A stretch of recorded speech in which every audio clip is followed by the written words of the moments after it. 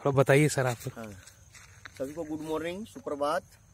मैं MP Pandey fire service Bokaro steel plant और ये सर हैं जो कैमरा पकड़े हैं आपका शुभ नाम सर? संतोष कुमार। संतोष कुमार सर हैं आप लोग बताइए अपना परिचय दीजिए।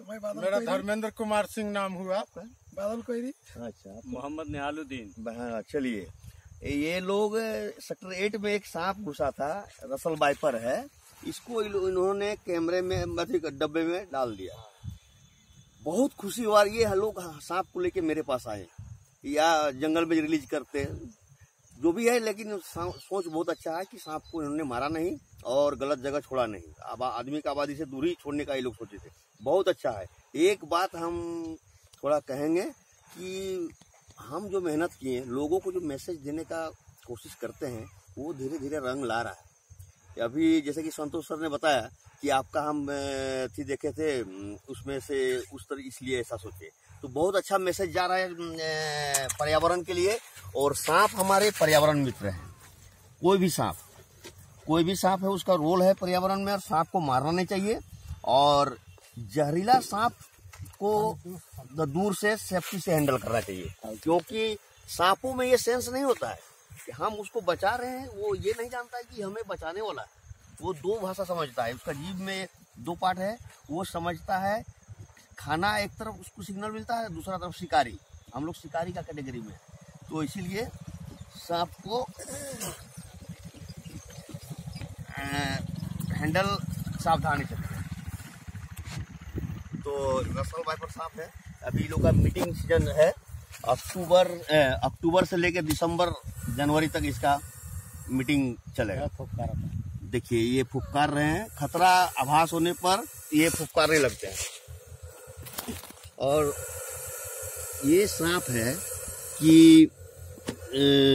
इसके बारे में गलत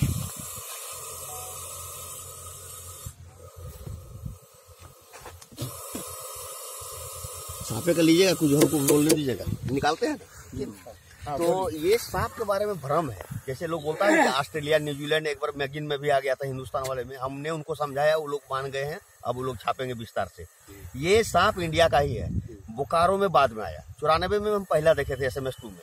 और इस पहले से इंडिया में है आपको बंगाल में चंद्रबाड़ा ये महाराष्ट्र में धोनस नोलक छत्तीसगढ़ में नोलखिया और इधर सियार चंदा का नाम से जानते हैं। और भी अन्य प्रांत में अन्य अन्य नामों से जाने जाते हैं। हाईली हिमोटॉक्सिन वेनम सांप है और इधर बड़ा साइज़ में मिलने से हमारे प्लांट के अंदर में वर, प्राइवेट वर्कर सब समझते हैं कि अजगर का बच्चा है। तो दोनों समझने की चीज़ है कि ऑस्ट्रेलिया न्यूजीलैंड भी नहीं है और अजगर का बच्चा भी नहीं है। तो इसको मारिए मत प्लीज़ और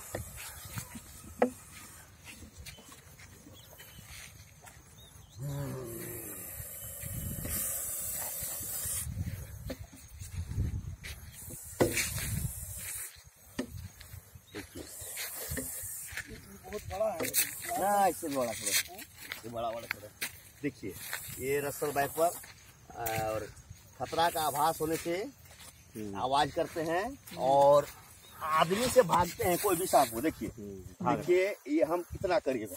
देखिए ये हम इतना करीब है ना ये मेरे तरफ़ काटने की कोशिश कर रहा है। नहीं। ये देखने का चीज़ देखिए अब आप सामने देखिए ये ये घबरा गया। इधर भी देखा आदमी इधर भी देखा घबरा गया। अब देखिए कैसे जा रहा देखिए देखिए हम हल्का हल्का टच भी किए लेकिन ये बैक करके काटने की कोशिश नहीं। नहीं चला गया। ये मैसेज यहाँ है कि सांप हम लोग से भागते हैं। ये आपको हम प्रूफ करके दिखाए कि सांप भागते हैं। अगर आप पैर रख दीजिएगा या इसके साथ छिड़खानी कीजिएगा तो काटेगा ही काटेगा। तो चलिए बहुत खुशी हुआ। लोग हमें सर्प मित्र कहते थे लेकिन आज पता चला सर्प मित्र बढ़ता जा रहा है बुखारा में। मेरा मेहनत रंग ला रहा है। चलिए आप लोग को आप लोग का बहुत बहुत धन्यवाद। इस सांप का जो जान बचा है इसका सारा क्रेडिट आप लोग को जाता है। और इसी तरह सांप बचाइए। हम लोग सांप मारते नहीं बिल्कुल नहीं मारना चाहिए। जहाँ तक है कि इसको बचा लिए एक खुशी हुआ है ये भी एक पर्यावरण का रक्षक है। बिल्कुल बिल्कुल। और इस हिसाब से ठीक है डर तो लगता है। है डर थोड़ा बड़ा रखना है। एकदम से निडर भी मत हो जाइए डरने का मतलब ये नहीं कि अगला को मार दिया जाए। जितना जीव है दुनिया में सब पर्यावरण का एक दूसरे हर एक जीव का पर्यावरण में रोल है। हर एक जीव और काटा। ना। सब डर रहा था झूठ मूठ का। वो डरता है वो आवाज़ करता है सांप डरा हुआ जगह देने से भाग जाता है। हाँ। तो चलिए आप लोग का बहुत बहुत धन्यवाद। आप लोग सांप को लाए इतना समय दिए। आजकल आज का डेट में किसी के पास समय नहीं है। सब कुछ है पैसा दे देगा लेकिन आपको समय नहीं देगा। तो धन्यवाद आप सबों का। को संतोष जी अभी रखिएगा। ये सांप वाला हाँ। हाँ। करो साथ अच्छा अच्छा। Thank you sir